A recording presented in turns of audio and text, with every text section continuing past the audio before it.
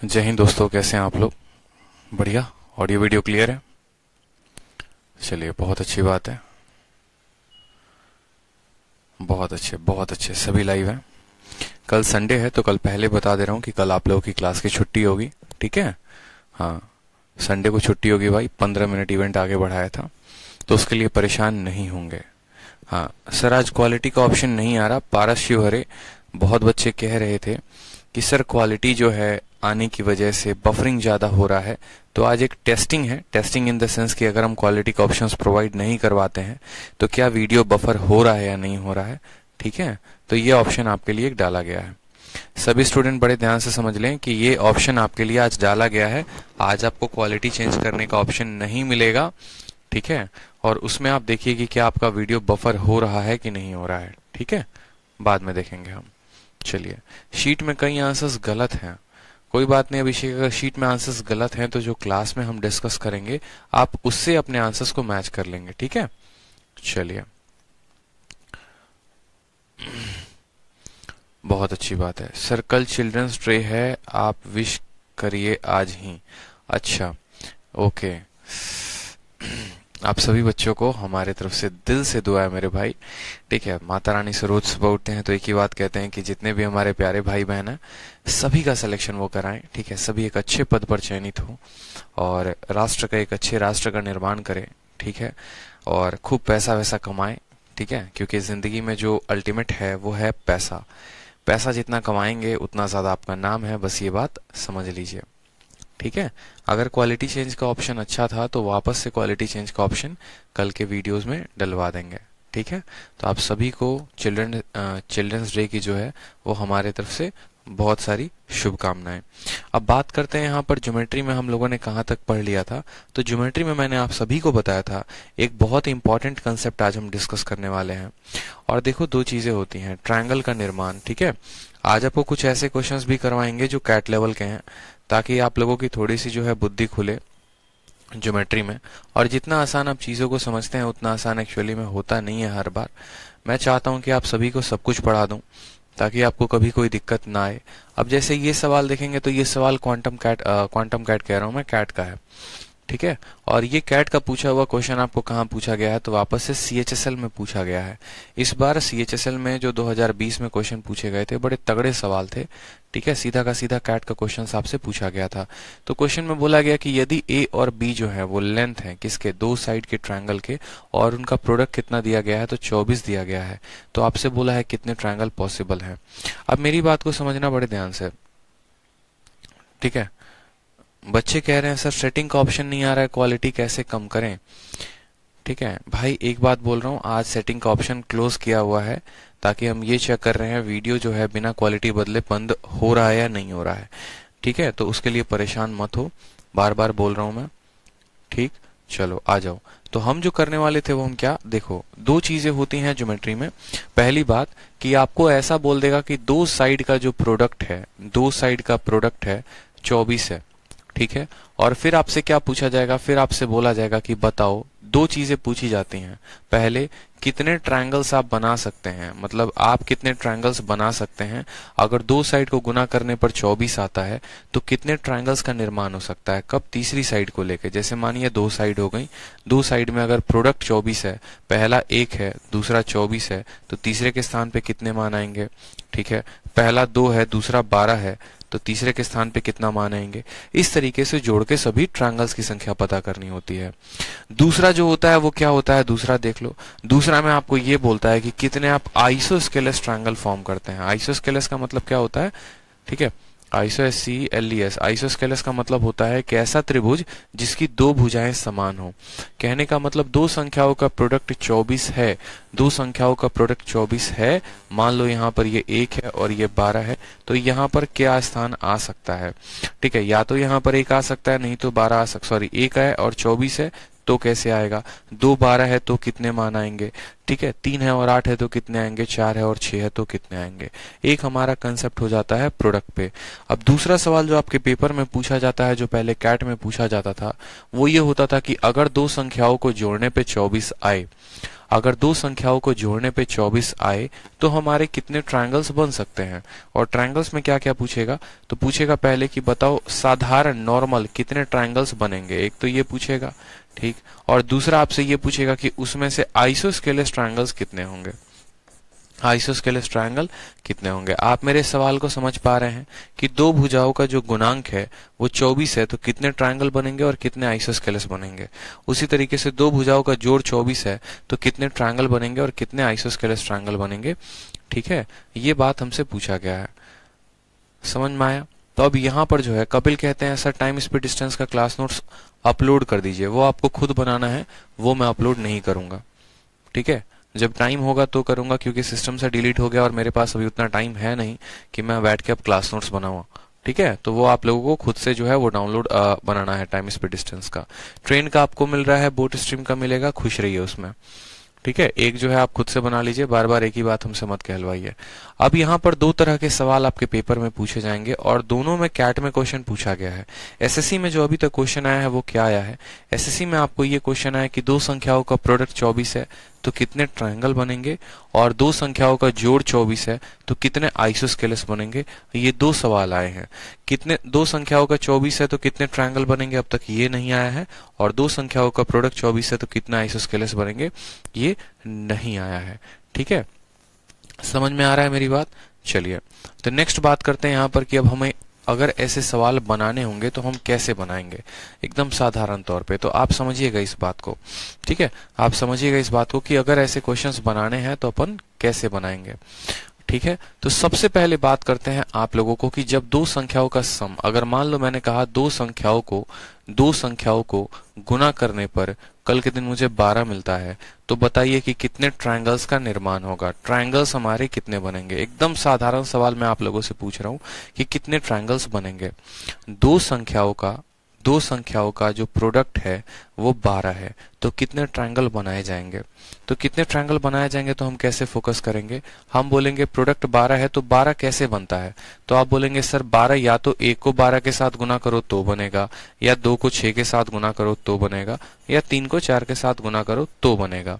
ऐसी संभावनाएँ पॉसिबल है मतलब ऐसे साइड्स पॉसिबल है तो आपने कहा हाँ सर ये तीन हम ट्रायंगल बनाते हैं आपके सामने और तीनों ट्रायंगल में हम इस केस का डिस्कशन करते हैं। पहली बात हम बात करते हैं कि एक इंटू बारह, यानी ये साइड को एक लेते हैं, दूसरा बारह। तो तीसरे को एक्स मानेंगे तो एक्स की पॉसिबल वैल्यूज़ क्या होंगे? दूसरे में अगर ये साइड दो हो, ये साइड छह हो तो एक्स के कितने मान यहाँ पॉसिबल होंगे? तीसरे में अगर ये तीन हो और ये चार हो तो एक्स के कितने मान यहाँ पर पॉसिबल होंगे। तो अब बात करते हैं यहाँ पर x के वैल्यू की कि x की वैल्यू क्या होगी। तो x की वैल्यू जो होगी, वो 12 जमा एक क्या होगी? 13 से छोटी होगी। और आपको क्या होगा? 12 में से ग्यारह से बड़ा होगा। समझ में आ रहा है मेरा बात? ठीक है? X के कितने मान पॉसिबल होंगे? तो आप बोलेंगे, सर, x की जो वैल्यू होगी, वो 13 से छोटी होगी और 11 से बड़ी होगी। यानी x की सिर्फ़ एक ही वैल्यू पॉसिबल है और वो है 12 x के स्थान पर आप कितना रख सकते हैं? तो आप 12 रख सकते हैं। या फिर आप ऐसे भी काउंटिंग कर सकते हैं तो अगर आप काउंट करेंगे तो बोलेंगे, यहाँ पर एक्स की वैल्यू पता करनी है, कितने अलग अलग वैल्यू रखे जा सकते हैं? तो छोटी वाली साइड का दोगुना करके क्या कर दो? एक घटा दो। यानी यहाँ पर एक्स के सिर्फ़ एक मान संभव है। यहाँ पर बात करोगे एक्स के कितने मान संभव है? तो छोटी वाली साइड का क्या करेंगे? दो गुना करके घटा देंगे। तो x के तीन अलग अलग मान संभव है। यहाँ पर x के मान पता करने होंगे तो क्या होगा? तीन का दोगुना करके आप एक घटा देंगे। यानी यहाँ पर पाँच मान संभव है। यानी टोटल जो हम ट्रायंगल बना सकते हैं, वो कितने बना सकते हैं? तो पाँच, तीन आठ और एक नौ। कितने ट्रायंगल बना सकते हैं? तो नाइन ट्रायंगल बना सकते हैं। ठीक है? Anshuka Somani time and work हमने नए वाले बैच में नहीं पढ़ा है। वो चैंपियंस बैच के स्टूडेंट थे। चैंपियंस बैच में time and work time speed distance चल रहा है। वो उसका क्वेरी पूछ रहे थे। शेरशाह बैच में भी नहीं पढ़ा है तो उसके लिए परेशान मत होइए। दो संख्याओं का प्रोडक्ट जो है, वो कितना है? बारह है। अब बारह है तो फिर से मैंने क्या कहा? बारह कैसे बन सकता है? एक इंटू बारह, दो इंटू छ तीन इंटू चार। ऐसे बन सकता है। ठीक है?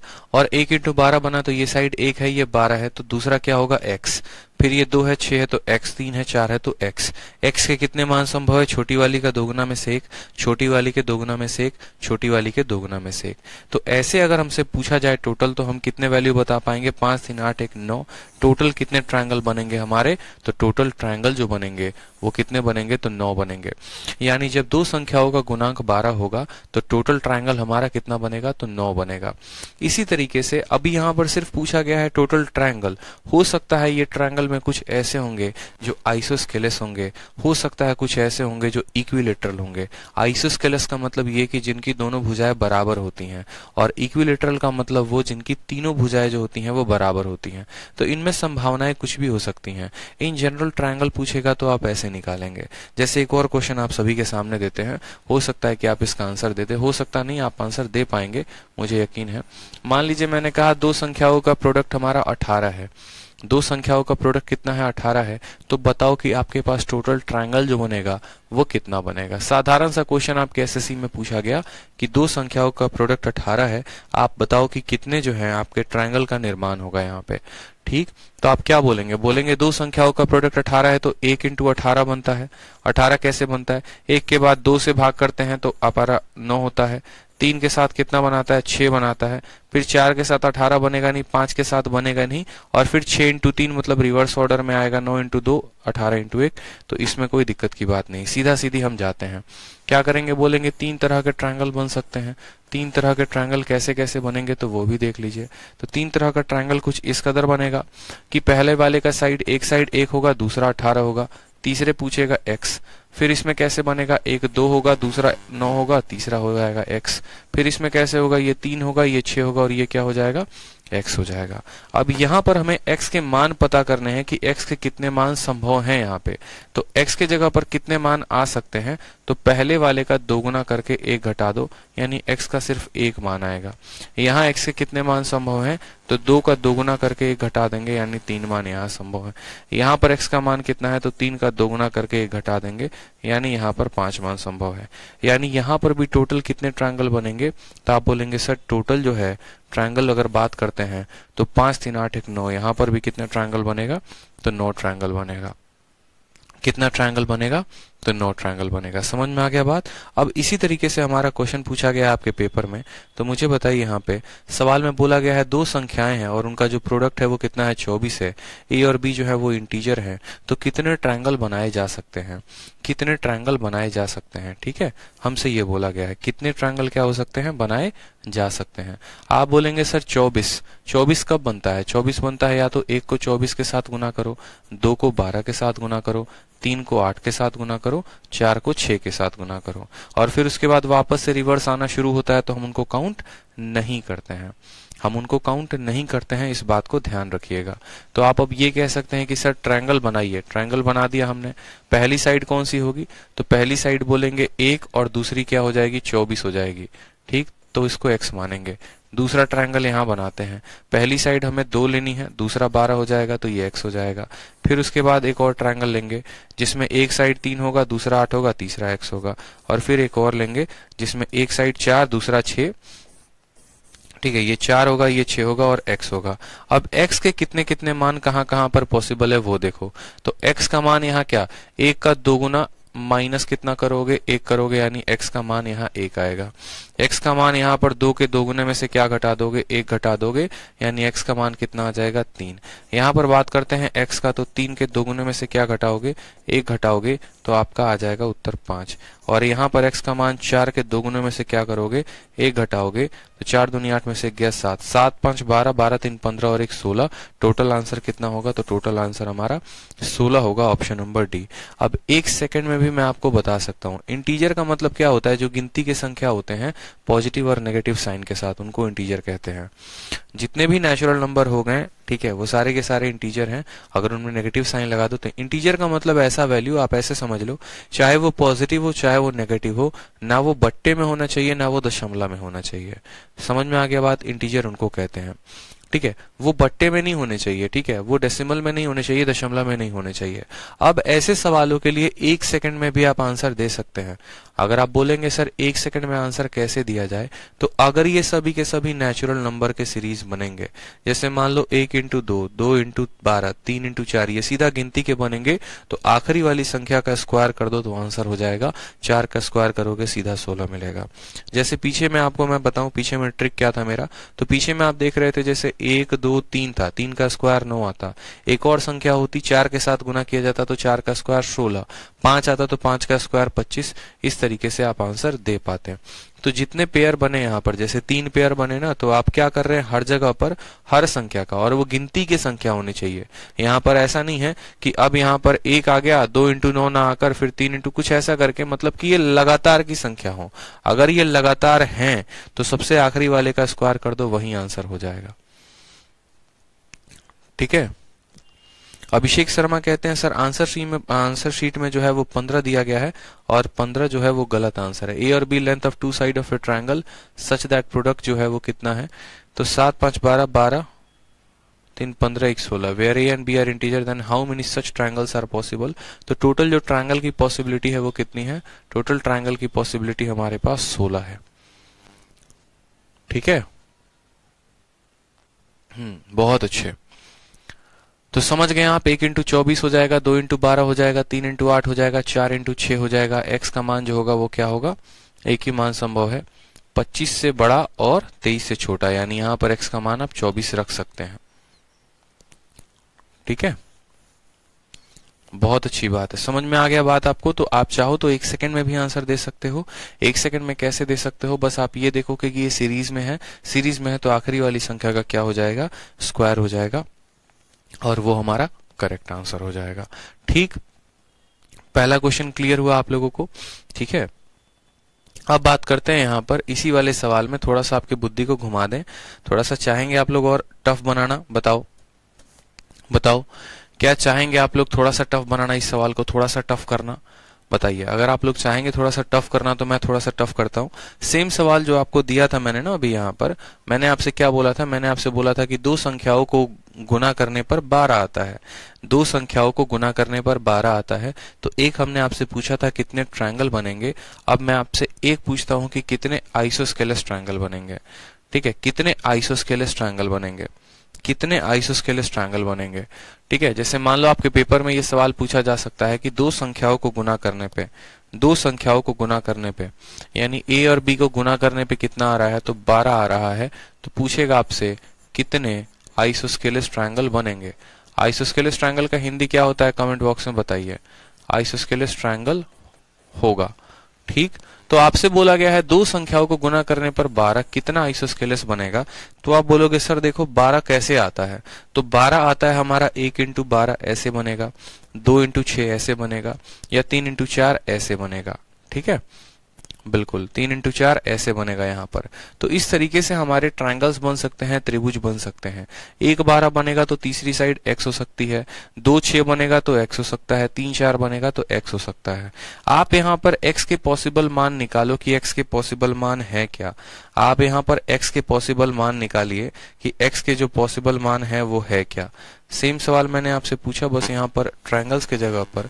आइसोस्केलिस ट्रायंगल पूछ लिया हमने कि आइसोस्केलिस कितना होगा? आइसोस्केलिस ट्रायंगल कितने होंगे? तो मैंने कहा कि देखिए, अब छोटी सी बात को समझिएगा। हमें ट्रायंगल्स की गिनती नहीं करनी है। हमें बस ये देखना है। हाँ समबाहु त्रिभुज, बिल्कुल। समधि बाहु समधि बाहु ठीक है? समद्विबाहु समद्विबाहु होता है, समद्विबाहु त्रिभुज कहते हैं। अब मेरे कहने का मतलब है कि अगर x है तो x के मान यहाँ पर क्या संभव है? तो बोलेंगे, सर, x का जो मान है, वो क्या होगा? तेरह से छोटा होगा, ठीक? और हमारा क्या होगा? 12 में से एक गया, यानी 11 से बड़ा होगा। यानी x का मान क्या पॉसिबल है? तो बोलेंगे, सर, x का मान सिर्फ़ और सिर्फ़ 12 पॉसिबल है। और जब x का मान आप 12 लेंगे तो इसकी वैल्यू क्या आएगी? एक, बारह और बारह। एक, बारह और बारह। क्या ये आइसोस्केलस ट्रायंगल है? समद्विबाहु त्रिभुज है। समद्विबाहु किसको कहते हैं? समद्विबाहु उसको कहते हैं, जिसकी दो भुजाएँ जो होती हैं, वो बराबर होती हैं। तो आप बोलेंगे हाँ सर, एक, बारह और बारह संभव है। मेरे बात ऐसे समझो, देखो, आप ऐसे नहीं करना चाहते ना तो आप छोटी सी बात को मैं आपको उतना क्यों घुमा के बात करूँ? मैं आपको सिंपल एक बात बोलता हूँ। आपने कहा, देखो, अगर आइसोस्केलेस पता करना है ऐसे केसेस में तो कैसे पता करोगे? आप सिंपल एक बात समझो। आप सिंपल मेरी एक बात समझो। सारी बातों का खेल आप समझ में आ जाएगा। आपने कहा, एक बारह है, फिर दो छह है। और तीन चार है। इस तरीके से ट्रायंगल बनेंगे। आइसोस्केलेस का मतलब जनाब क्या होता है? आइसोस्केलेस का मतलब ये होता है कि उनकी दो भुजाएँ बराबर हो। समद्विबाहु का मतलब दो भुजा बराबर हो। यानी ये जो तीसरी वाली भुजा है, या तो ये एक हो सकती है और नहीं तो बारह हो सकती है। ठीक? या तो ये एक हो सकती है, नहीं तो बारह हो सकती है। अगर इसके स्थान पर हम एक रखते हैं तो एक रखते हैं तो देखो, दो संख्याओं का जोड़, यानी दो भुजाओं का जोड़ हमेशा तीसरी से बड़ा होना चाहिए। क्या ये प्रॉपर्टी रहा है तो बोलेंगे, नहीं नहीं बना रहा है। तो हम एक और बारह में एक को तो नहीं रख सकते। अब बारह को रखते हैं तो बारह को देखते हैं। तो 12 और 12 24 24 क्या एक से बड़ा है? बिल्कुल। 12 और एक, तेरह। तेरह, बारह से बड़ा है? बिल्कुल। यानी दो भुजाओं का जोड़ तीसरी से बड़ा है तो ट्रायंगल बन सकता है एक, बारह और बारह। ये पहला आइसोस्केलस बन गया। दूसरे वाले में आ जाइए। इसके स्थान पे या तो आप दो रख सकते हैं, नहीं तो आप छह रख सकते हैं। आप बोलेंगे, सर, दो रखेंगे तो दो और दो। ठीक है? दो और दो। चार। चार छह से बड़ा है, नहीं तो दो नहीं रख सकते हैं। अब आप छह रखिए तो छह और दो, आठ। आठ छह से बड़ा है हाँ। तो इसके स्थान पे क्या हो सकता है? दो, छह और छ हो सकता है। अब आ जाते हैं तीसरे वाले पे। तीसरे वाले पे बोलेंगे कि यहाँ तो या तो तीन रख सकते हैं, नहीं तो चार रख सकते हैं। जब मान लीजिए ट्रायंगल में तीन रखेंगे तो तीन और तीन छह। चार से बड़ा है तो हाँ बड़ा है। तो एक ट्रायंगल बन जाएगा, तीन तीन, चार, ठीक है। और जब चार रखेंगे तो चार और तीन, सात। चार से बड़ा है तो बोलेंगे हाँ तो बोलोगे तीन, चार और चार।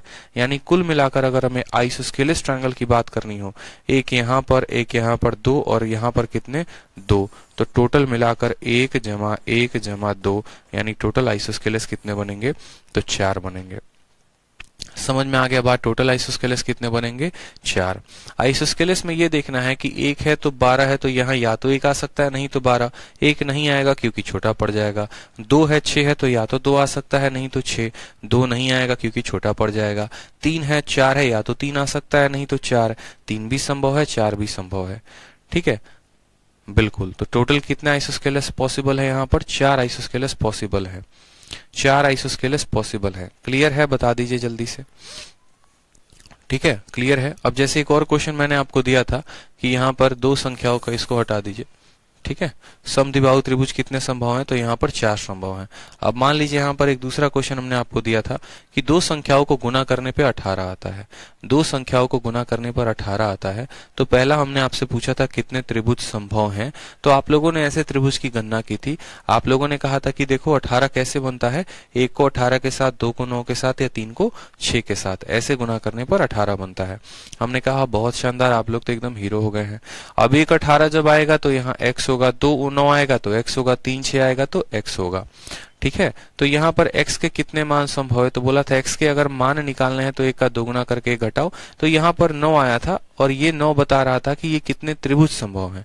लेकिन अगर कल के दिन आपका एग्जामिनर आपसे थोड़ा सा अच्छा सवाल पूछ दे और बोले कि नहीं, हमें तो बच्चों को फेल करना है और हमें जो नौकरी है, वो अपने रिश्तेदारों को देनी है, बच्चों को तो बिल्कुल भी नहीं देनी है तो उस केस में आप क्या करेंगे? आप यही बोलेंगे कि भैया कंसेप्ट आज अगर पता होता तो सला ये नौकरी अपने हाथ में होता।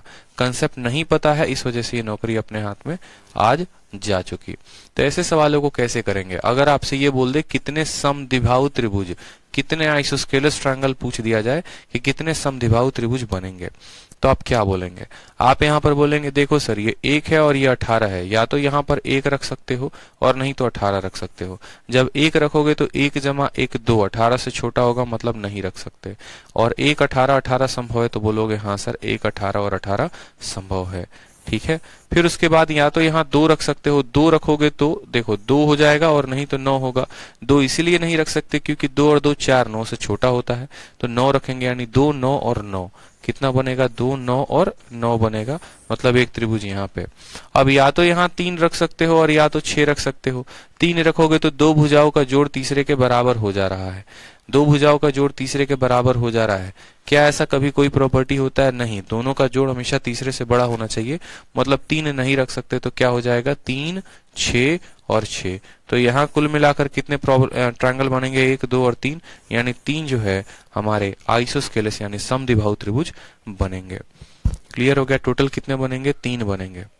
समझ में आया? तो इसके ऊपर अभी तक पेपर में सवाल नहीं आया है, लेकिन आएगा तो ऐसे ही बनाएँगे। ठीक? अब आ जाते हैं। बहुत शानदार। सभी उत्तर दे पा रहे हैं। ये हुई ना बात? ठीक है? टफ से टफ क्वेश्चन सीखने की हिम्मत रखो, पढ़ो उसको। मज़ा आएगा ज्योमेट्री में, ठीक है? अब आ जाओ, यहाँ पर बात करते हैं नेक्स्ट में।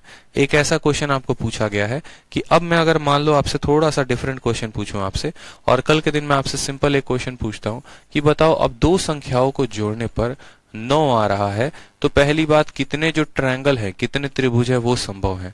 दो संख्याओं को जोड़ने पर, दो संख्याओं को जोड़ने पर नौ आता है तो कितने त्रिभुज संभव हैं? एक स्टूडेंट हमारे पूछते हैं कि, सर, इसमें कोई शॉर्ट ट्रिक नहीं है क्या? मेरे भाई, ज़िंदगी भर शॉर्ट ट्रिक करोगे तो कैसे काम चलेगा? ज्योमेट्री कंसेप्ट का खेला होता है। शॉर्ट ट्रिक का नहीं होता। ठीक है? हर जगह नहीं लगाना पड़ता है मेरे भाई शॉर्ट ट्रिक इस बात का ध्यान रखो। शॉर्ट ट्रिक जीवन बर्बाद करने के लिए होता है। कंसेप्ट पे काम करो ना तो बोला गया है दो संख्याओं को जोड़ने पर नौ आता है, कितने त्रिभुज संभव हैं? तो आप बोलेंगे, ठीक है सर, त्रिभुजों की संख्या ही तो निकालनी है। दो संख्याओं को जोड़ने पर नौ आएगा तो वो नौ कब आएगा? तो बोलोगे, जब एक में आठ जोड़ेंगे, तब नौ आएगा। दो में सात जोड़ेंगे, तब नौ आएगा। तीन में छह जोड़ेंगे, तब नौ आएगा। चार में पाँच जोड़ेंगे तब नौ आएगा। और वापस अब उधर से उल्टा होना शुरू हो जाएगा। फिर पाँच में चार जोड़ेंगे तो आएगा, छह में तीन, सात में दो। मतलब ऐसे ऐसे संभावनाएँ पॉसिबल है कि ठीक है, ऐसे हमारे ट्रायंगल बन सकते हैं। हमने कहा कितने केसेस बन रहे हैं? चार। तो आप बोलेंगे, ठीक है सर, हम चार त्रिभुज यहाँ पर बनाते हैं। हम कितना बनाते हैं? तो टोटल कुल मिलाकर चार त्रिभुज यहाँ बना देते हैं। पहले वाले त्रिभुज का मान क्या रखेंगे? तो बोलेंगे, या तो ये एक रहेगा और ये आठ रहेगा तो ये एक्स होगा। तभी तो एक और आठ जोड़ने पे, दो संख्याओं को जोड़ने पे नौ आए तो तीसरे की मान। इसको दो रखेंगे, इसको सात रखेंगे तो ये एक्स हो जाएगा। इसको तीन रखेंगे, इसको छह रखेंगे तो ये एक्स हो जाएगा। इसको चार रखेंगे, पाँच रखेंगे तो एक्स हो जाएगा। अब हमसे पूछेगा बताओ एक्स के कितने मान संभव हैं? तो ऐसे केसेस में क्या बोलोगे? बोलोगे एक्स का मान देखो। तो एक्स का मान एक का दोगुना माइनस एक, यानी यहाँ से एक आ जाएगा। यहाँ पर बोलेगा एक्स का मान देखो। तो दो का दोगुना माइनस एक यानी यहाँ पर कितना आ जाएगा? तीन आ जाएगा। यहाँ पर x का मान देखो तो छोटे वाले का दो गुना माइनस एक यानी पाँच आ जाएगा। और यहाँ x का मान देखोगे तो छोटे वाले का दो गुना माइनस एक यानी यहाँ पर सात आ जाएगा। तो सात, पाँच, बारह, तीन, पंद्रह और एक कितना हो जाएगा? सोलह। और जैसा कि मैंने आपको पीछे वाले क्वेश्चन में बताया था और मैंने आपको क्या ट्रिक बताया था? ट्रिक ये बताया था कि जब ये पर्टिकुलर सीरीज़ में होते हैं, जब ये सीरीज़ में होते हैं, और जोड़ वाले में तो 100 परसेंट ये सीरीज़ में आएँगे ही आएँगे। जब आपको दो संख्याओं को जोड़ के किसी के बराबर लेकर आना होगा तो 100 परसेंट ये सीरीज़ में आएँगे, ये गारंटी है। तो उस केस में आप बस ये देखो कि कितने पेयर बनते हैं। चार पेयर एक, दो, तीन और चार। चार पेयर बना, चार का स्क्वायर करो आंसर आ जाएगा। जैसे उदाहरण के तौर पर मैं आपको बोलता हूँ, एक और सवाल कि दो संख्याओं को जोड़ने पे, दो संख्याओं को जोड़ने पे पंद्रह आना चाहिए तो ऐसे कितने ट्रायंगल बनेंगे? ऐसे कितने ट्रायंगल बनेंगे? आपको कुछ भी करने की ज़रूरत नहीं, बस आप जोड़ा बताओ कि जोड़ा कितना होगा। पंद्रह कैसे बनेगा? तो बोलोगे एक को चौदह के साथ दो को कितने के साथ? तो बोलोगे दो को तेरह के साथ। ठीक है? इसी तरीके से करते करते लास्ट वाली जो गिनती देखो ना तो सात को आठ के साथ जोड़ने पे आएगा। यानी टोटल कितने जोड़े बनेंगे? ऐसे करते करते करते टोटल सात जोड़े बनेंगे। टोटल कितने जोड़े बनेंगे? सात जोड़े बनेंगे। तो अगर सात जोड़े बनेंगे तो ट्रायंगल की जो संख्या होगी वो सात का स्क्वायर यानी उनचास ट्रायंगल आपके बनने वाले हैं। एक चौदह, दो तेरह, तीन बारह, चार जो है वो ग्यारह, पाँच, दस, ठीक है? ऐसे छह, नौ इस तरीके से करके। तो कितने पेयर बने? सात पेयर बने तो सात का स्क्वायर कितना हो जाएगा? उनचास हो जाएगा। यहाँ पर आपको उतना कैलकुलेट करने की आवश्यकता नहीं है। तो ये तो आपका ये हो गया कि पहले मैंने आपको बताया कि दो संख्याओं को गुना करने पर, दो संख्याओं को गुना करने पर कितने त्रिभुज बनेंगे? ये मैंने पूछा। फिर मैंने आपसे ये पूछा, दो संख्याओं को गुना करने पर कितने समदिबाहु त्रिभुज बनेंगे, आइसोस्केलस बनेंगे? फिर मैंने आपसे भी ये पूछा कि दो संख्याओं को जोड़ने पे कितने त्रिभुज बनेंगे? अब आपका एग्जामिनर जो लास्ट है, जो कि कैट में पूछा गया था 2016 में, और उसके बाद ये सीधा इस बार के सीएचएसएल में आया है, उसमें ये पूछा गया था कि यदि दो संख्याओं को जोड़ने पे, यदि दो संख्याओं को जोड़ने पे नौ आता है तो कितने आइसोस्केलस ट्रायंगल संभव हैं? कितने समिभाव त्रिभुज संभव हैं? आपसे ये पूछा गया है। कितने समिभाव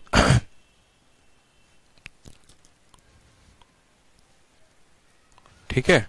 तो यहाँ पर आपसे ये पूछा गया था कि आपके कितने समद्विबाहु त्रिभुज जो हैं वो संभव हैं। कितने समद्विबाहु त्रिभुज संभव है? समद्विबाहु का समद्विबाहु त्रिभुज का जो परिभाषा होता है वो क्या होता है कि उनकी दो भुजाएँ बराबर हों।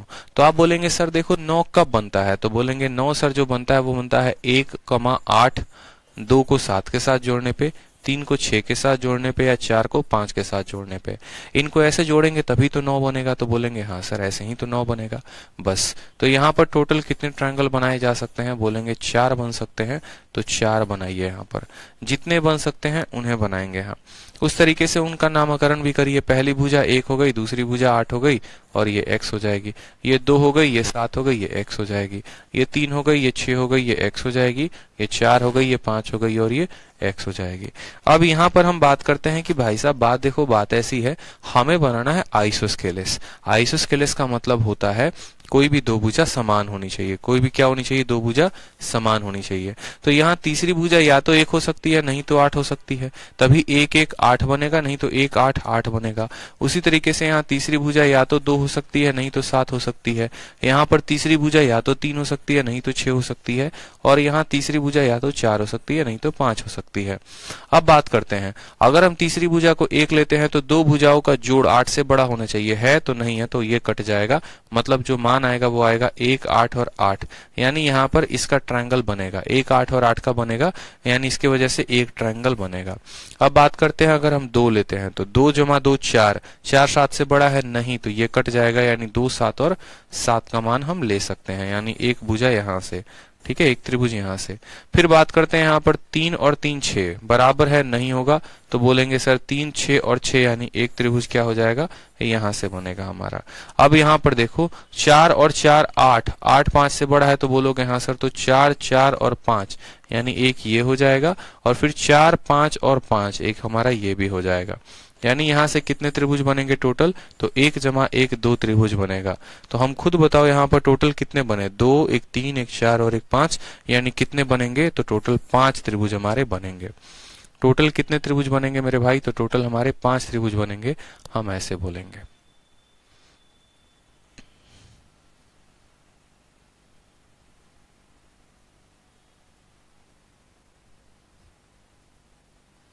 ठीक है?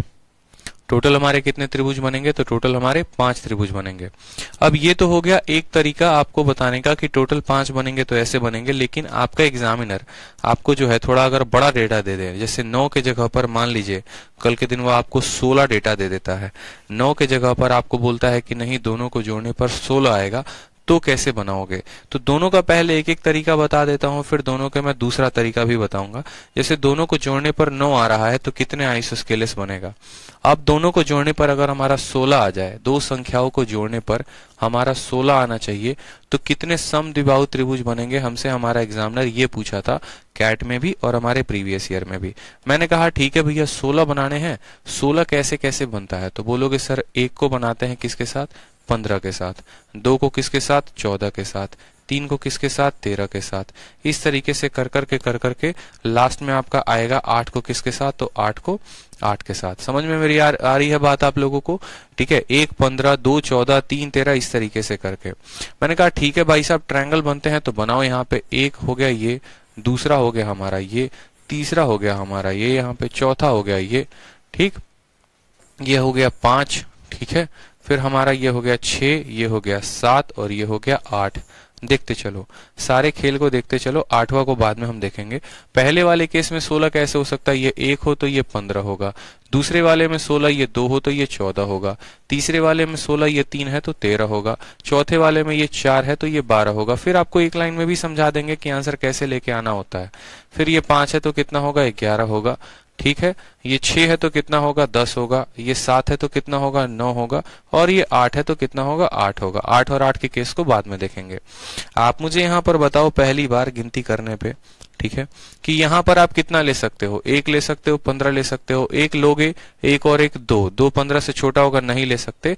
मतलब पंद्रह, एक और पंद्रह आप ऐसे ले सकते हो। तो क्या ले सकते हो? जो ले सकते हैं, बस वही मान लिखेंगे, क्योंकि डेटा ज़्यादा बड़ा है। यानी यहाँ पंद्रह संभव है। क्या यहाँ दो रखा जा सकता है? नहीं रखा जा सकता है दो। यानी यहाँ चौदह संभव है। क्या यहाँ तीन रखा जा सकता है? तीन और तीन छह। नहीं तो यहाँ सिर्फ़ तेरह संभव है। क्या यहाँ चार रखा जा सकता है? नहीं, चार और चार जो है, वो आठ हो जाएगा, बारह से छोटा यानी सिर्फ़ बारह रखा जा सकता है। क्या यहाँ पाँच रखा जा सकता है? नहीं तो सिर्फ़ यहाँ कितना रखा जाएगा? ग्यारह। क्या यहाँ पर छह रखा जा सकता है? तो हाँ बिल्कुल छह भी रखा जा सकता है। क्या दस रखा जा सकता है? तो बिल्कुल। क्या यहाँ पर सात रखा जाएगा? तो बिल्कुल। नौ रखा जाएगा? तो बिल्कुल रखा जा सकता है। अब बात आती है ये वाले केस की कि इस वाले केस में मान क्या क्या हो सकता है। ठीक है? इस वाले केस में क्या क्या मान हो सकता है? ये बहुत इंपॉर्टेंट है। ये बहुत इंपॉर्टेंट है कि आठ आठ और यहाँ पर मान क्या होगा? तो देखो, आप खुद मुझे बताओ, अगर मैं यहाँ पर बोलता हूँ x, अगर मैं यहाँ पर बोलता हूँ x की, x के जो है, यहाँ पर अगर ये संख्या x है तो x के कितने मान संभव है? तो आप बोलेंगे, सर, x के जो मान संभव है वो है सबसे छोटी वाली साइड का दोगुना करके एक घटा दीजिए। यानी 16 में से एक गया तो 15 मान यहाँ पर संभव है। x के कितने मान संभव है तो x के टोटल 15 मान हमारे संभव हैं। कैसे 15 मान संभव है? तो आठ आठ एक, आठ आठ दो, आठ आठ तीन, आठ आठ चार, आठ आठ पाँच, आठ आठ छ, इस तरीके से करके। ठीक है? तो अब यहाँ पर देखो तो एक, दो, तीन, चार, पाँच पाँच दो सात सात दो नौ। इधर कितने ट्रायंगल बने? तो यहाँ पर ट्रायंगल बने आपके नौ। क्या हो गए? वो समद्विभाजु थे। और यहाँ पर कितने ट्रायंगल बने? तो यहाँ पर बने पंद्रह। यानी इस हिसाब से टोटल कितने त्रिभुज आए हमारे पास? तो टोटल त्रिभुजों की जो संख्या थी, वो हमारे पास कितनी थी? चौबीस थी। तो इसका जो आंसर है हमारे पेपर का ऑप्शन नंबर डी जो है वो करेक्ट आंसर है। दोबारा से समझ लीजिए, हमें क्या करना होता है? 16 लाना है। 16 लाना है, एक पंद्रह, दो चौदह, तीन तेरह, ऐसे कर करके लेके आओगे, जो बेसिक तरीका होता है समझने का। तो बोलोगे हाँ सर, यहाँ पर एक नहीं आएगा, पंद्रह। एक त्रिभुज ये, एक, दो, तीन, चार, पाँच। पाँच त्रिभुज हो गए। पाँच दो यहाँ बनेंगे, एक छह छह दस और एक छह दस दस। पाँच दो सात सात सात नौ सात नौ नौ। सात दो नौ हो गया, नौ हो गया ना? अब यहाँ पर खुद सोचो कि दो त्रिभुज की साइड एक्स और एक्स आठ और आठ है तो एक्स के जगह पर कितने मान संभव होंगे? तो बोलोगे, सर एक्स के जगह पर कितने कितने मान संभव होंगे? कैसे पता चलेगा? तो जो हमारा एक्स होगा, वो आठ जमा आठ यानी सोलह से छोटा होगा और आठ में से आठ यानी ज़ीरो से बड़ा होगा। एक आ जाएगा, दो आ जाएगा, तीन आ जाएगा, चार, पाँच, छ सात आठ नौ, ठीक है? यहाँ पर एक मिनट रुक जाओ। सात आठ नौ, दस ग्यारह, बारह, तेरह, चौदह, पंद्रह। इसमें आठ को नहीं ले सकते हैं। आठ को क्यों नहीं ले सकते हैं? तो बोलोगे आठ को इसीलिए नहीं ले सकते हैं, क्योंकि अगर आठ ले लिया तो वो इक्विलेटरल ट्रायंगल बन जाएगा, ठीक है? और हमें तो आइस उसके लिए चाहिए। एक, दो, तीन, चार, पाँच, छह, सात, आठ, नौ, दस, ग्यारह, बारह, तेरह, चौदह। चौदह मान यहाँ संभव है। कैसे? ठीक है।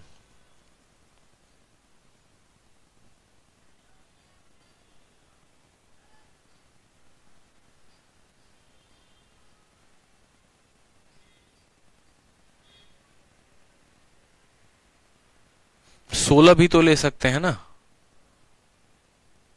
दो भुजाओं का जोड़ हमेशा मतलब एक से लेकर पंद्रह तक। लेकिन इक्विलेटरल ट्रायंगल आइसोस्केलस ट्रायंगल भी तो एक इक्विलेटरल ट्रायंगल होता है। How many isosceles triangle with integer side are possible sir the sum of two side से जितना सही है यहाँ पे।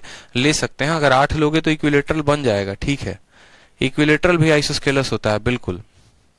इक्विलेटरल भी तो आइसोस्केलस होगा ना यहाँ पे। तो वो उसको काउंट किया जाएगा। क्यों नहीं किया जाएगा? बताओ। उसकी काउंटिंग होगी। इक्विलेटरल की काउंटिंग होगी। कोई शक की बात नहीं है इसमें। आठ आठ और आठ जो है, वो भी तो एक आइसोस्केलस ट्रायंगल है। ठीक है? आठ आठ और आठ, वो भी तो एक आइसोस्केलस ट्रायंगल है। सवाल में कहा बोला है कि इक्विलेटरल नहीं लेना है? आप मुझे ये बताइए, कहीं पर बोला गया है कि नहीं लेना है? जब नहीं बोला गया है कि तो फिर हम क्या करेंगे? फिर हम टोटल मान लेंगे। इस वजह से जो हमारा आंसर आएगा पंद्रह और नौ टोटल कितना आंसर हो जाएगा? तो पंद्रह जमा नौ जो है, वो हमारा चौबीस आंसर हो जाएगा। कितना आंसर हो जाएगा? चौबीस आंसर हो जाएगा। अब अगर मानिए आप ऐसे इस सवाल को नहीं बनाते हैं, जो कि सोलह आया था, अगर आप ऐसे नहीं बनाते हैं तो आपको तो मैं आपको दूसरा तरीका भी बताता हूँ जिससे आप कर सकते हैं इस सवाल को। और दूसरा तरीका थोड़ा लॉजिकल है, आपको उसमें समझना पड़ेगा। बनेगा बहुत शॉर्ट में, लेकिन बस समझने की ज़रूरत होगी। समझने की ज़रूरत क्या होगी मेरी बातों को समझिएगा मैंने आपको कहा है कि दो भुजाओं को जोड़ने पे देखना। मेरी बात को समझना। मैंने कहा, दो भुजाओं को जोड़ने पे कितना आना चाहिए? दो भुजाओं को जोड़ने पे सोलह आना चाहिए। दो भुजाओं को जोड़ने पे सोलह आना चाहिए। ठीक है? दो भुजाओं को जोड़ने पे बोला गया है कि 16 आना चाहिए और ऐसे कितने आइसोस्केलस यानी समद्विबाहु त्रिभुज पॉसिबल है। मैंने कहा, अगर ये मेरी भुजा x होती है, या मान लो अगर ये मेरी भुजा जो है, ये x है, और ये x है, और ये y है, ठीक? और दूसरी भी सेम तरीके से ये x है, और ये x है, और ये y है। अब मैंने आपको क्या कहा है, वो बात समझिएगा मेरी बात ध्यान से। अगर मान लीजिए यहाँ पर कि इस भुजा को मैं मानता हूँ, कितना मानता हूँ? मैं मानता हूँ ये आठ है। ठीक है? और ये जो y है यहाँ पर, ये y जो है, ये आठ है, और यहाँ पर ये कितना है? आप ऐसे समझ लो, ये आठ है, ये आठ है, और यहाँ पर ये y है। तो एक मान हो सकता है। यानी उस केस में आप बोलेंगे ठीक है? कि दो भुजाएँ जो है, ये बराबर हैं। दो भुजाएँ बराबर हैं तो तीसरे के कितने मान संभव हैं? एक आपका ये तरीका हो गया कि तीसरे के कितने मान संभव हैं। और दूसरा आपका ऐसे हो सकता है कि दोनों को जोड़ने पे कितना है, दोनों को जोड़ने पे जो है, दोनों को जोड़ने पे मेरी बात को समझना, दोनों को जोड़ने पे कितना आना चाहिए? तो आपने कहा कि ये हमारा ए है मान लो, और ये हमारा बी है। और दोनों को जोड़ने पे कितना आना चाहिए? तो a प्लस बी को जोड़ने पे हमारा कितना आना चाहिए? तो a प्लस बी को जोड़ने पे 16 आना चाहिए। अगर मानो ये साइड x हो गई तो x के जगह पे कितने मान संभव है? यानी आपको दो तरीके से सवाल में पूछा गया है। एक तो ये कि दोनों अगर आठ और आठ होते हैं, दोनों अगर आठ और आठ होते हैं तो तीसरा की वैल्यू कितनी संभव है? दूसरा, अगर दोनों अलग अलग होते हैं, दोनों समान नहीं होते हैं, दोनों बराबर नहीं होते हैं, जहाँ पर ए और बी को जोड़ने पर 16 आता है तो एक्स के ऐसे कितने मान संभव हैं? तो आप बोलेंगे, देखो ए और बी को जोड़ने पे 16 आता है, ये बात मैं आपकी मानता हूँ। यानी एक्स जो है वो क्या होगा? तो एक्स जो है वो क्या होगा? 16 से छोटा होगा। X जो है, आप ऐसे भी कह सकते हो कि x जो है, वो a प्लस बी से छोटा होगा और a माइनस बी से क्या होगा तो बड़ा होगा। X जो होगा, वो क्या होगा? A प्लस बी से छोटा होगा और a माइनस बी से बड़ा होगा। आप कह सकते हो, जो तीसरी साइड होती है, दोनों के जोड़ से छोटी होती है और दोनों के अंतर से क्या होती है? कम होती है। मैंने कहा, x यहाँ पर छोटा होगा तो किससे? A प्लस बी यानी 16 से छोटा होगा। और इनका अंतर सवाल में दिया गया है क्या? क्या इनका अंतर दिया गया है? तो इनका अंतर खुद सोचो। अगर दोनों संख्याएँ हैं यहाँ पर और दोनों अलग अलग हैं तो इनका अंतर कम से कम कितना होगा? तो बोलोगे, सर, अगर मानो इनका अंतर हम लेते हैं। तो कितना हो सकता है इनका अंतर? अगर दोनों अलग अलग संख्याएँ हो गई, दोनों अलग अलग संख्याएँ हो गई जिनका 16 है, जैसे मानो यहाँ पर बात करते हैं, एक हो गया 16 हो गया, इस तरीके से करके तो इनका अंतर कितना लिया जा सकता है अगर दो अलग अलग संख्याएँ हैं तो? हाँ सर, आज वीडियो क्वालिटी का ऑप्शन नहीं आ रहा है। ठीक है, ये आपका थोड़ा लंबा प्रोसीजर पड़ जाएगा, थोड़ा आपको कम अंडरस्टैंड में भी आएगा, यहाँ पर डिफरेंस लेना पड़ेगा डिफरेंस एक वैल्यू यहाँ पर आएगी डिफरेंस से दूसरा एक्स की वैल्यू यहाँ पर आएगी, फिर दोनों को जोड़ोगे it will take a lot of time मेरे भाई। बहुत टाइम लेने वाला आपको ये, बहुत टाइम समझ रहे हैं मेरी बात को आप? ठीक है, एक बार आप ये सवाल को देख लो दोबारा से, जो मैंने आपको बताया है, कहीं पर कोई डाउट हो तो मुझे बताओ। ठीक है, एक बार आप ये सवाल को देखो जो मैंने आपको बताया। कोई भी डाउट है तो बताओ, फिर मैं आपको उसका दूसरा तरीका भी बता देता हूँ। तब तक आप देखो उसको।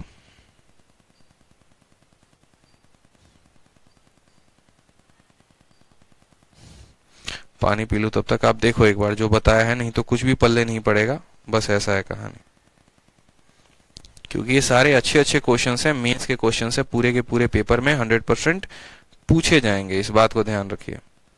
तो जब पेपर में पूछे जाएँगे तो कैसे करेंगे? वो इंपॉर्टेंट है।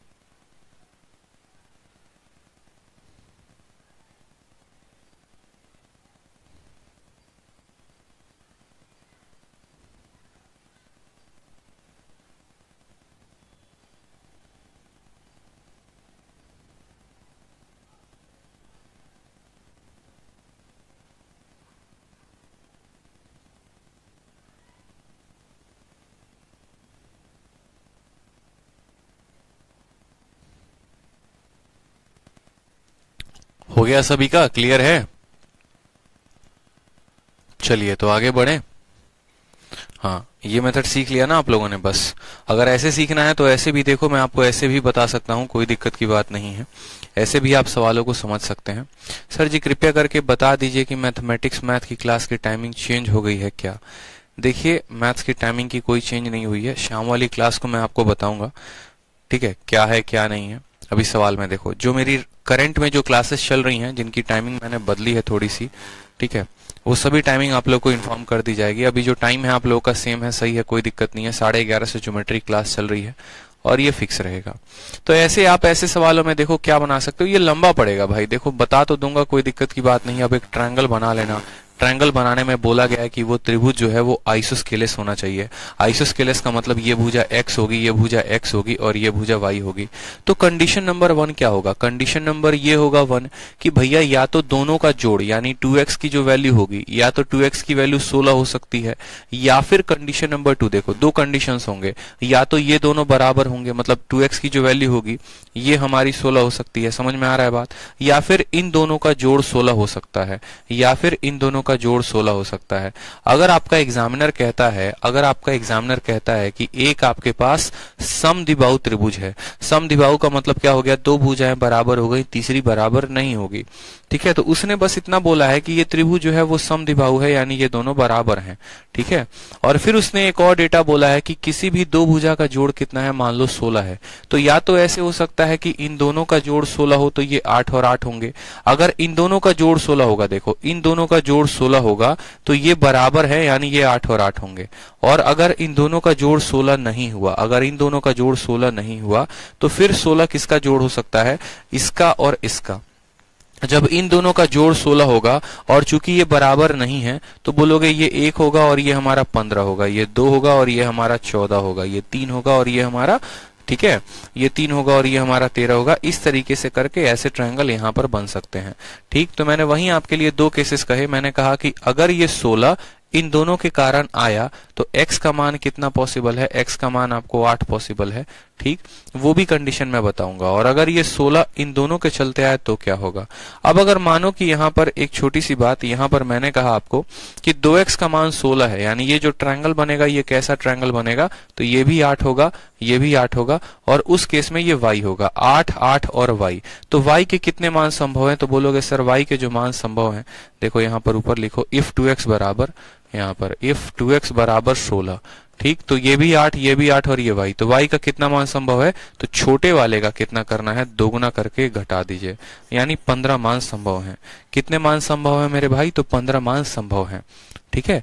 जहाँ पर ये आठ आठ आठ भी आ सकता है। आठ आठ, एक आठ एक, आठ आठ, दो, आठ आठ, तीन, आठ आठ, चार, आठ आठ, पाँच, आठ आठ, पंद्रह, आठ करके ये आ सकता है।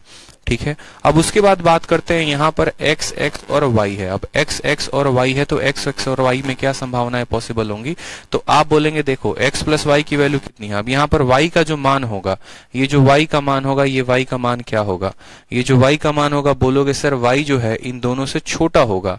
y जो होगा, ठीक है? आप देखो, दो संख्याएँ हैं यहाँ पर, दोनों का जोड़ सोलह है। दो संख्याएँ हैं और दोनों का जोड़ जो है, वो क्या है? सोलह है। यानी जो साइड होगी, जो भी तीसरी साइड यहाँ पर वाई का मान लोगे तो ये y क्या होगा यहाँ पर? तो बोलोगे y जो होगा, वो x प्लस वाई से छोटा होगा और y जो होगा, वो किससे बड़ा होगा? x माइनस वाई से बड़ा होगा। या फिर आप ऐसे भी कह सकते हो।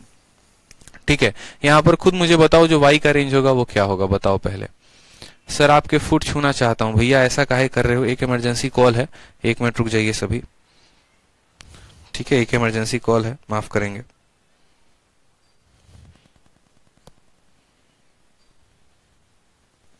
हाँ देखिए तो मैं यहाँ पर ये कहना चाहता हूँ कि अगर x प्लस वाई बराबर 16 है तो y की वैल्यू क्या होगी? तो बोलेंगे, सर, y की वैल्यू y की वैल्यू इन दोनों के जोड़ से छोटा होगा, यानी y की वैल्यू दो एक्स से छोटा होगा, और y बड़ा किससे होगा? तो y x माइनस एक्स यानी इन दोनों से जोड़ से, घटाव से ज़ीरो से बड़ा होगा। फिर से समझिएगा मेरी बात को यहाँ पे। Y जो होगा, वो यहाँ पर 16 से बड़ा होगा। Y यहाँ पर देखो, y के रेंज क्या क्या है मेरे भाई? यहाँ पर y का रेंज ऐसा है कि y हमारा 16 से बड़ा है, छोटा है और ज़ीरो से बड़ा है। यानी y की वैल्यू कितनी है तो 15 है। यहाँ पर y का रेंज क्या है तो यहाँ पर ये 2x से छोटा है और हमारा x माइनस एक्स ज़ीरो से बड़ा ये मैं आपको सेकंड मेथड बता रहा हूँ। तो आप बोलेंगे, ठीक है सर 2x से छोटा होगा, ज़ीरो से बड़ा तो ज़ीरो को ज़ीरो रखो, y को y रखो। और x के स्थान पर, x के स्थान पर 16 माइनस वाई रखा जा सकता है। तो बोलोगे हाँ सर 16 माइनस वाई रखा जा सकता है। यानी ज़ीरो हो गया y हो गया 16 इंटू दो, बत्तीस माइनस दो वाई। अब यहाँ दो वाई है तो क्या करो? दो वाई, इसको भी दो दो वाई, इसको भी दो दो वाई, इसको भी दो। ज़ीरो में टू वाई एड करोगे, टू वाई। इसमें ऐड करोगे तो तीन वाई। और इसमें ऐड करोगे तो हो जाएगा बत्तीस। यानी आपका एग्जामिनर आपको ये बोला है, मेरे भाई आपका एग्जामिनर आपको ये बोला है यहाँ पर कि जो तीन वाई है वो कितना से छोटा होना चाहिए? तो बोलोगे तीन वाई जो है, तीन वाई जो है वो स्मॉल होना चाहिए किससे? बत्तीस से। तीन वाई की वैल्यू बत्तीस से छोटी होनी चाहिए। तो बोलोगे y की वैल्यू आपको आ जाएगी दस दशमलव छह। वाई की वैल्यू दस दशमलव छह से छोटी होनी चाहिए। यानी y की वैल्यू यहाँ क्या लेनी है? दस से छोटी लेनी है। अब दस से छोटी लेनी है तो क्या बोलोगे? दस से छोटी लेनी है तो आप कह सकते हो y का मान यहाँ पर एक भी हो सकता है, दो भी हो सकता है, तीन भी हो सकता है, चार भी हो सकता है, करते करते करते करते करते दस तक जा सकता है। टेन पॉइंट सिक्स से छोटा मतलब टेन लेना है। अब इसमें देखोगे तो एक बार आठ आएगा। इसमें देखोगे तो एक बार आठ आएगा। उस आठ की गिनती यहाँ पर भी कर ली है। तो यहाँ पर टोटल कितने वैल्यूज़ हैं? बोलोगे चार, पाँच करते करते दस तक हैं। तो यहाँ पर टोटल हमारे दस वैल्यूज़ हैं। दस में एक बार आठ आएगा तो एक माइनस करके नौ हो जाएगा। तो पंद्रह यहाँ, नौ यहाँ इस तरीके से कुल मिलाकर कितने हो जाएँगे? चौबीस हो जाएँगे। तो ये दोनों स्पेशल केसेस थे। सीएचएसएल का क्वेश्चन था। इस दोनों में आपको ध्यान देना था। मुझे लगता है जो पहला वाला मेथड मैंने आपको बताया ना, वो सबसे बेस्ट मेथड है इस सवाल के लिए।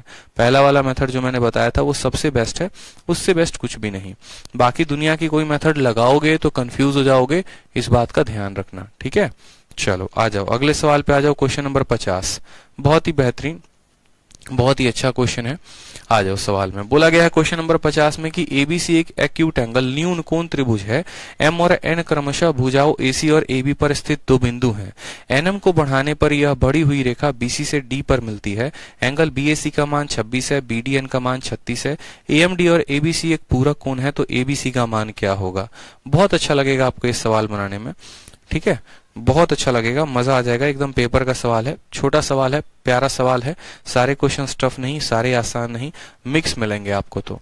अब यहाँ पर ये सवाल के बारे में थोड़ी सी व्याख्या की गई है तो बना लेते हैं। जैसे जैसे फ़ोटो बोला है, और आप भी कॉपी पेन लेके बनाइए, तभी समझ में आएगा। ज्योमेट्री छोड़ने की चीज़ नहीं है कि आप उसको छोड़ देंगे। छोड़ेंगे तो अपना नुकसान करेंगे, इस बात का ध्यान रखिए। सवाल में हमसे बोला गया, ये हमारा ए है, ये हमारा बी है, और ये हमारा क्या है? सी हो गया।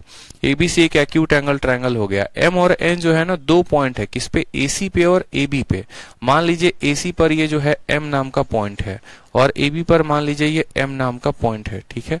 उसके बाद बोला गया है कि एन एम को बढ़ाना है। देखो एन से एम को बढ़ाना है। एन से एम को बढ़ाना, इस बात को ध्यान दो। ये बड़ा महत्वपूर्ण बात है।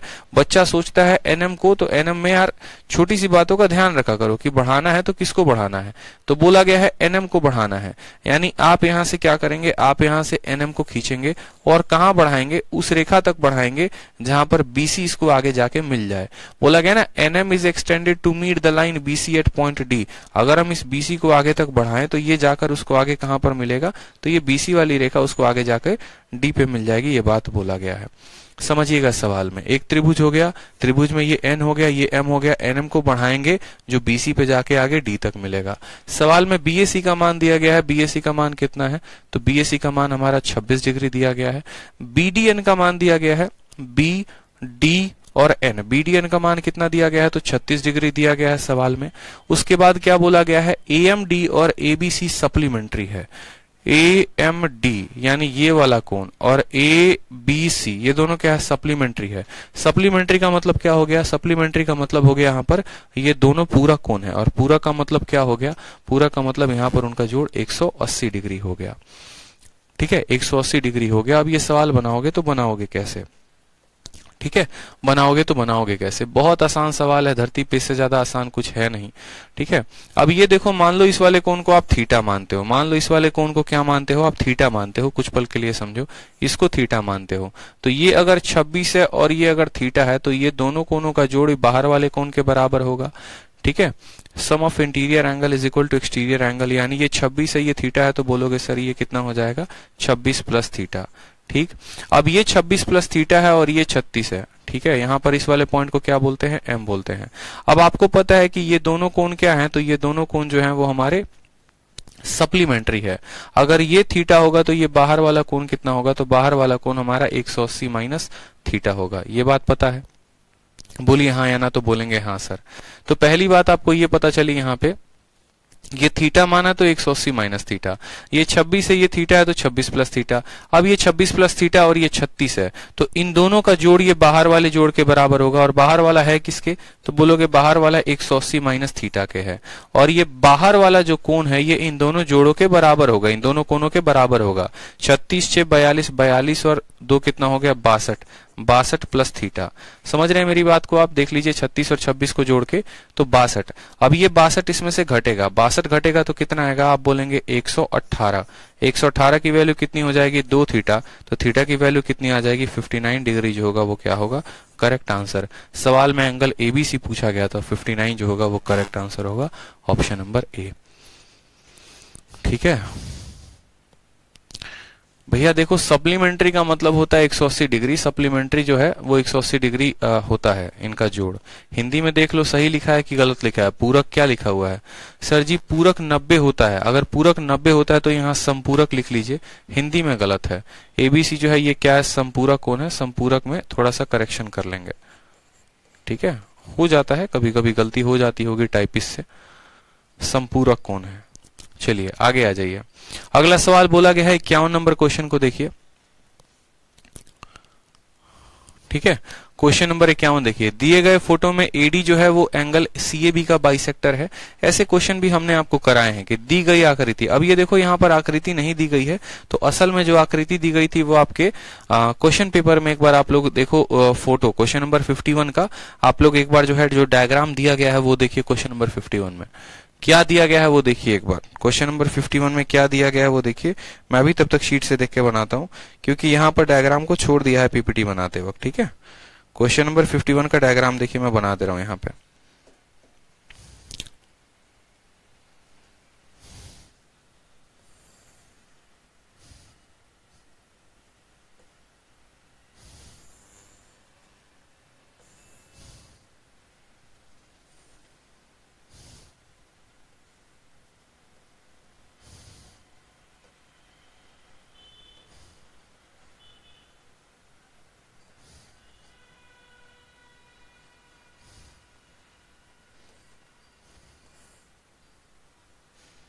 ठीक है? ये हो गया क्वेश्चन नंबर 51 का।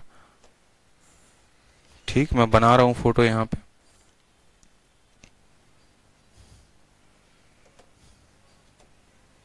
इन दोनों को ज्वाइन करवाइए यहाँ पे। एक मिनट, ये सब बेकार है। एक काम करो इसको। जितने टाइम में इतना बनाएँगे, उतने टाइम में तो ये हो ही सकता है।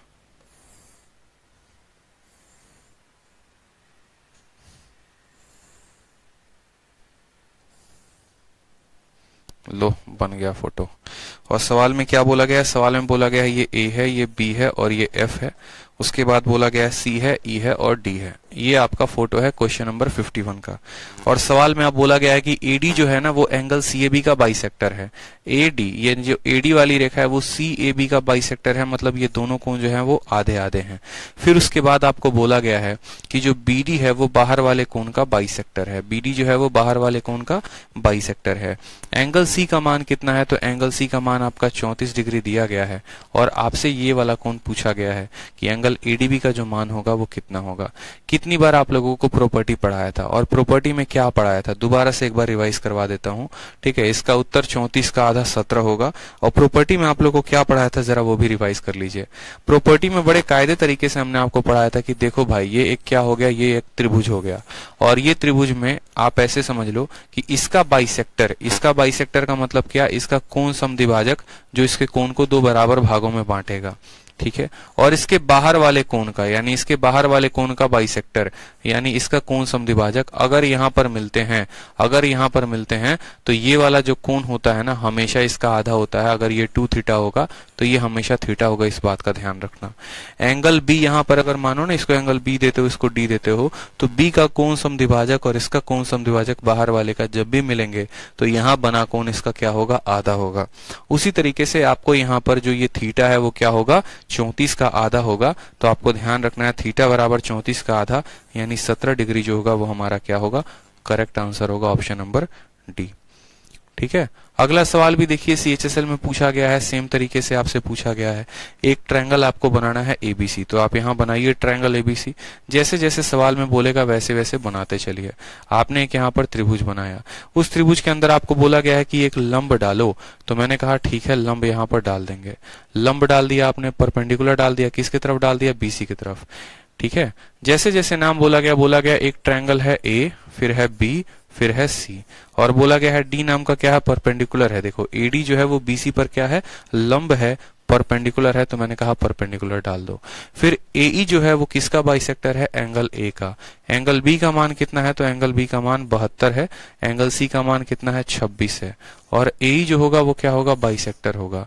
ए जो होगा वो क्या होगा? बाइसेक्टर बाइसेक्टर किसका? तो एंगल ए का।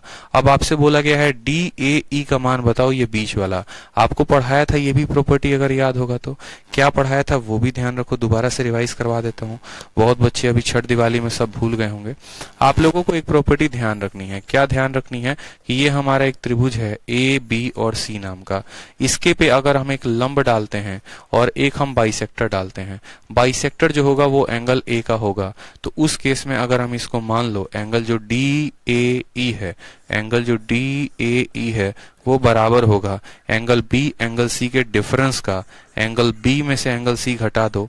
और उस डिफरेंस का क्या होगा? तो आधा होगा। ये बात ध्यान रखना है कि जो बीच वाला कोण है, बीच वाला कोण इन दोनों के अंतर का आधा। उसी तरीके से यहाँ पर हमसे क्या पूछा गया? बीच वाला। तो बेहतर और छब्बीस बेहतर और छब्बीस कितना हो गया? तो बोलोगे एंगल जो डी ए ई है एंगल जो डी ए ई है बहत्तर में से छह घटाओ, छाछठ छाछठ में से बी बीस घटाओ तो कितना हो जाएगा? 46 46 का आधा कितना होगा? तो 46 का आधा यानी 23 डिग्री होगा। ऑप्शन नंबर ए जो है, वो करेक्ट आंसर है। समझ में आया? इन दोनों के अंतर का आधा। उसी तरीके से अगला सवाल में आपको सवाल पढ़ना है और आपको समझ जाना है कि आपको ये क्या पूछ रहा है प्रॉपर्टी में। सेम तरीके से आपसे यहाँ पर बोला गया है कि तुम्हारा एक त्रिभुज होना चाहिए एबीसी नाम का। ठीक है? एबीसी में तुम्हारा एम नाम का एक परपेंडिकुलर होगा। किसके ऊपर? बीसी के ऊपर। ए एन नाम का एक बाइसेक्टर होगा एंगल ए का। आपसे पूछा गया है एम ए एन यानी बीच वाले का मान। तो बीच वाले का मान 55 में से 35 घटाओ 20 और 20 का आधा कितना होगा? 10 होगा। टिक करो, आगे बढ़ो। 55 में से 35 घटाओ 20 20 का आधा 10 किसका क्वेश्चन था? सीजीएल का था। बना पाए। ठीक है? अगला सवाल देखो। सेम तरीके से बोला गया है ट्राइंगल पी क्यू आर तो क्या बनाओगे? ट्राइंगल पी क्यू आर यहाँ बना दोगे। ट्राइंगल पी क्यू आर में एंगल क्यू का मान कितना दिया गया है? तो एंगल क्यू का मान चौरासी दिया गया है। एंगल आर का मान कितना दिया गया है? तो आर का मान अड़तालीस दिया गया है। पीएस जो है वो किसके ऊपर परपेंडिकुलर है? तो क्यू आर के ऊपर परपेंडिकुलर है। और bisector of P meet Q R at किस पे? टी पे। तो एस पी टी का सेम मान पूछा गया है। क्या करना है? चौरासी में से अड़तालीस घटाना है और उसको क्या कर देंगे? आधा कर देंगे। ठीक है? तो चौरासी में से चालीस घटा दो तो हो जाएगा फोर्टी फोर फोर्टी फोर में से आठ घटा दो छत्तीस। छत्तीस का आधा कितना होता है? छत्तीस का आधा अठारह होता है। अब यकीन मानोगे, आप मेंस के सवालों को सेकंडों में बना पा रहे हो। और वो भी सबसे टफेस्ट शिफ्ट का क्वेश्चन है ये। पंद्रह तारीख को पूछा गया था। तो इसीलिए मैं कहता हूँ कि प्रॉपर्टी ध्यान रखो। प्रॉपर्टी ध्यान रहा तो पता चल जाएगा बीच वाला कौन, इन दोनों के कौन का क्या होगा? अंतर का आधा होगा। ठीक है? इसी तरीके से सेम सवाल है। पी में आर का मान दे दिया गया है पी ठीक है? जैसे जैसे बोला है, पहले फ़ोटो देख लेना, बनाकर कि हाँ भैया वही है कि नहीं? नहीं तो उल्टा सीधा लगा लोगे। पी क्यू आर में चलो आर का मान दे दिया गया है, चौवन है। Perpendicular bisector of P Q अब देखो पी क्यू का परपेंडिकुलर बाइसेक्टर ये पी क्यू का जो है ठीक है the perpendicular bisector of P Q at S meet the perpendicular bisector of PQ at S meet QR at T.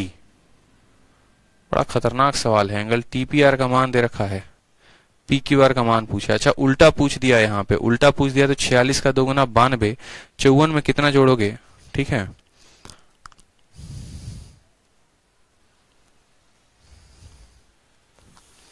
In triangle P Q R ठीक है, एक बार सवाल में देखते हैं। पचपन नंबर में क्या बोला है? हो सकता है पचपन नंबर क्वेश्चन जो हो वो थोड़ा डिफरेंट हो। तो बनाते हैं सवाल में पचपन नंबर को, शायद कहीं भाषा में गलती ना हो। उम्मीद तो यही करते हैं। ठीक है?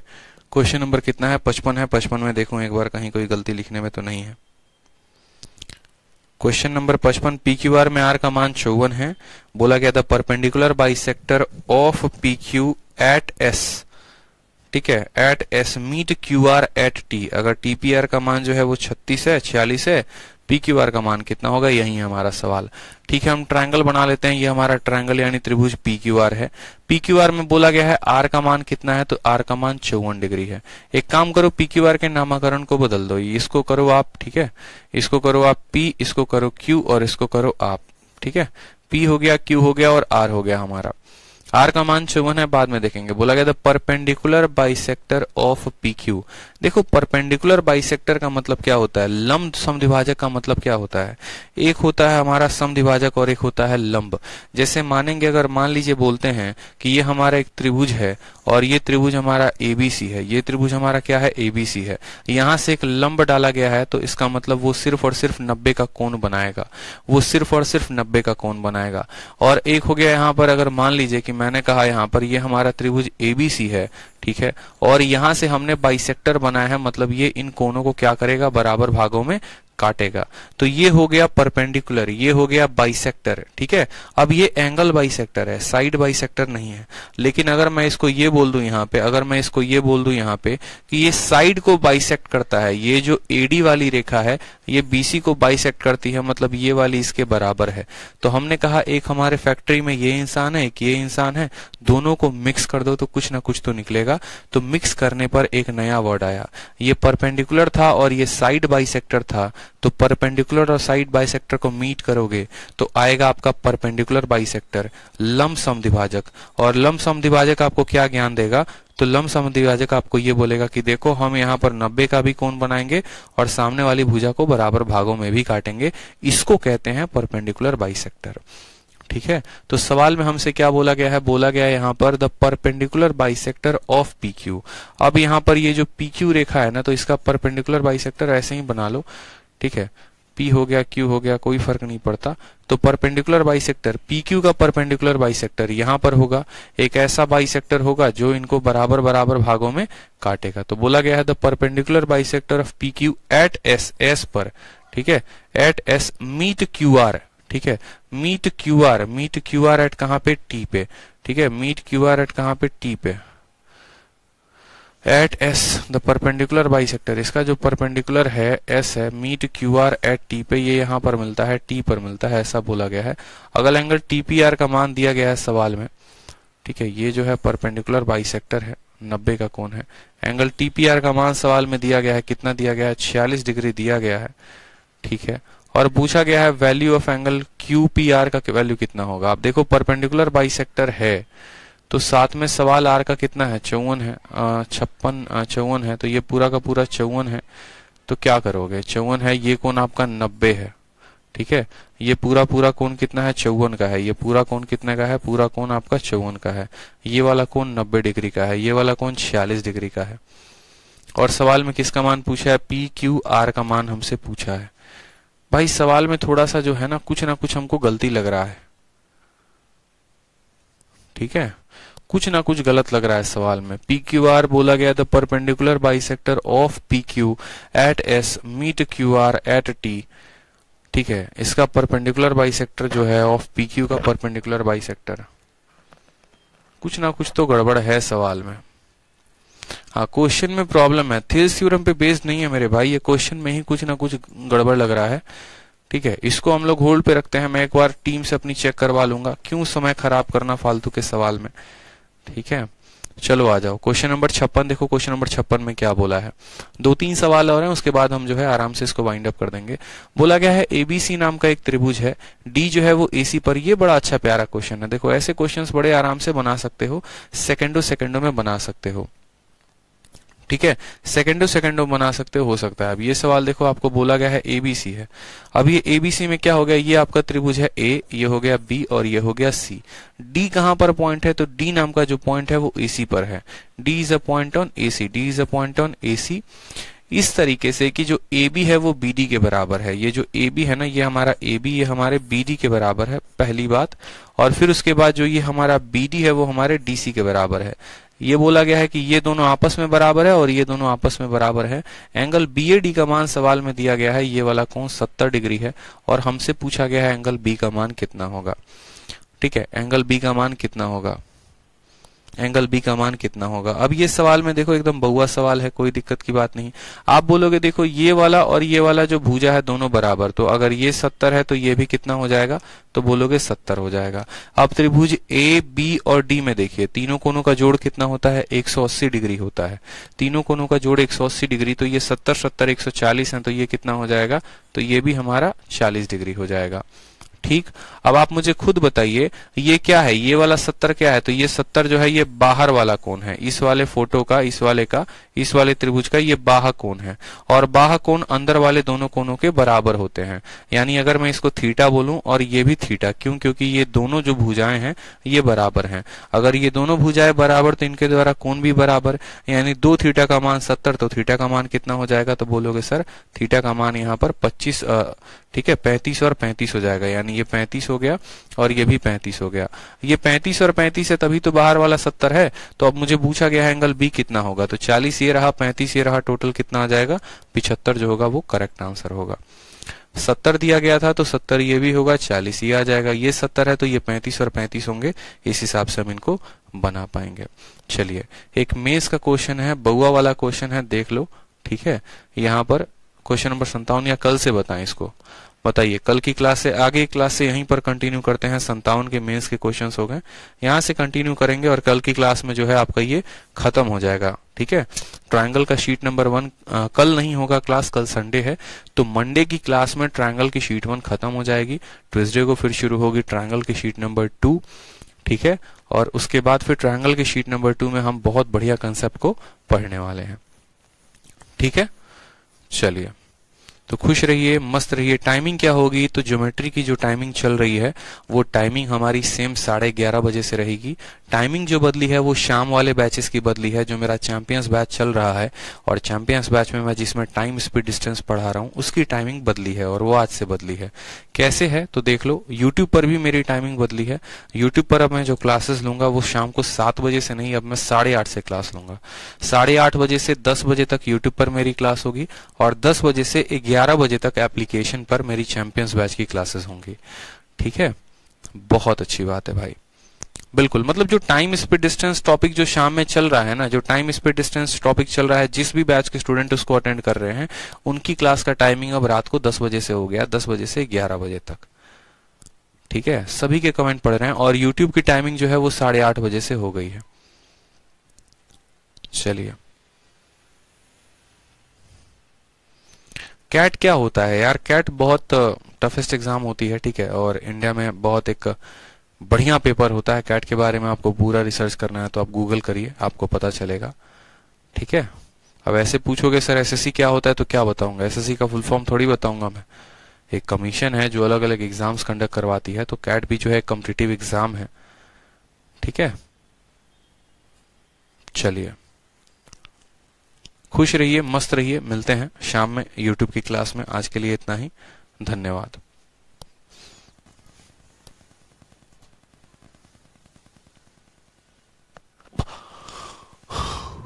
मेरे भाई, इस बैच की टाइमिंग नहीं बदली है। इस बैच की कोई टाइमिंग नहीं बदली है। परेशान मत हो। ज्योमेट्री रोज साढ़े ग्यारह बजे से चलेगी। एप्लीकेशन पर आप जो है चेक भी कर सकते हैं। अपकमिंग क्लासेस का। आप किसी भी बैच के स्टूडेंट हैं, कोई भी बैच चाहे रीजनिंग मैथ कुछ भी ले रखा है आपने, आप एप्लीकेशन पे चेक कर सकते हैं। इस बात का ध्यान रखिए। अपकमिंग क्लासेस में आप चेक कर सकते हैं।